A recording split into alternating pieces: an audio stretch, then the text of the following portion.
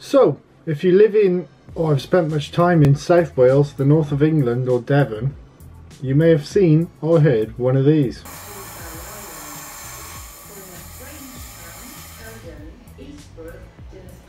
Hello, welcome to Urban Point Films and welcome to the Train Ride Extra series. In today's video we are going to be talking about the Pacer.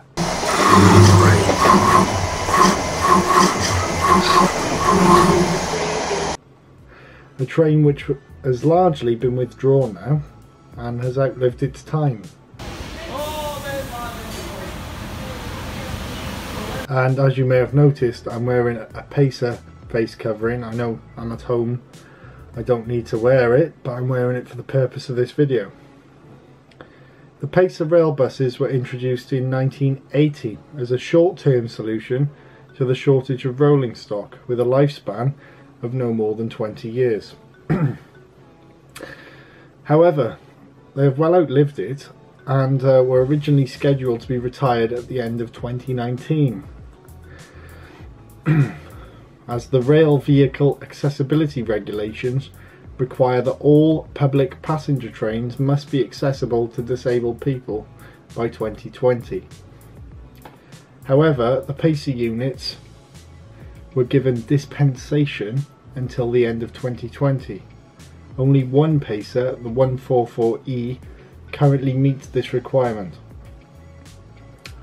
At the start of 2020, 138 Pacer units were either still in service or storage, with three national rail operators, Northern Trains, Great Western Railway and Transport for Wales.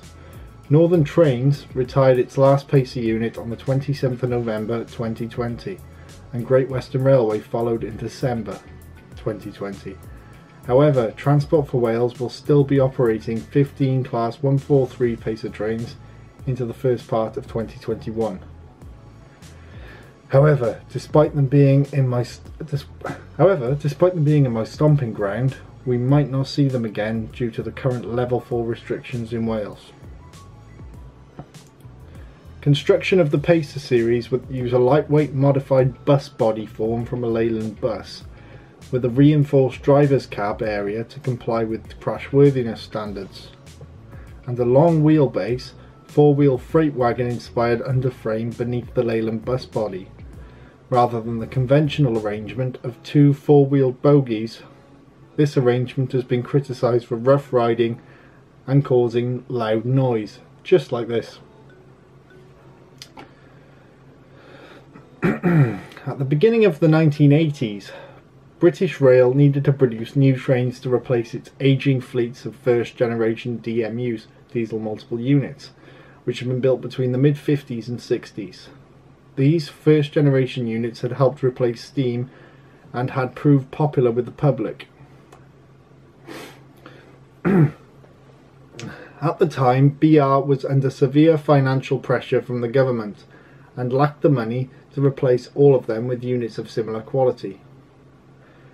BR developed two different types of units as second generation, the Sprinter series as conventional DMUs for use on urban and longer distance services, and the Pacer series as low-cost DMUs built as rural and branch line services, which ended up being used on mainline routes between Sheffield, Leeds and Manchester in the north and Cardiff, Newport and Swansea in Wales. The Class 141 Pacers, which were the first in passenger service after the experimental Class 140 Pacers, were sold to the Islamic Republic of Iran Railways in 1997, but have since been withdrawn there too and left to rot in sidings in the country, with a few in preservation in the UK, such as on the Midland Railway in Butterley. In July 2019, Northern rolled out the Class 195 built by CAF, which are dubbed the Pacer Replacers, as that was their intended purpose.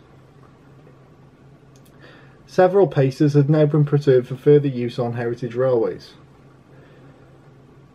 However, there have been multiple safety concerns raised about the Pacers after the 1999 Winsford crash, which involved a first Northwestern Pacer Class 142 running as empty stock with a run was run into by a Virgin Trains Class 87 express train after the Pacer had fouled the main line at Winsford in Cheshire on the WCML West Coast Main Line.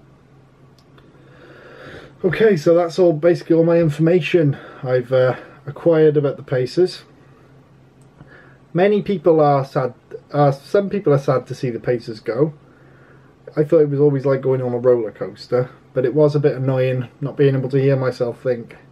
And when I was trying to record a video on them, I couldn't hear a word of what I was saying, as I did record a couple of intros on Pacers back when I was doing my uh, back doing when I was doing my abandoned videos a couple of years ago. However, a lot of people do say that Pacers are the worst, terrible, really uncomfortable, annoying, and they're glad to see the back of them. However, that's not the case in Wales, as Wales is still keeping 15 class 143 Pacers for a short term of this year, which probably will be gone by the by the time the lockdown's over in Wales. So hope you all did enjoy make sure to leave a like and we'll see you in the next train ride video or the next video on this channel. I've been Sam from Urban Point Films. See you all on the next one.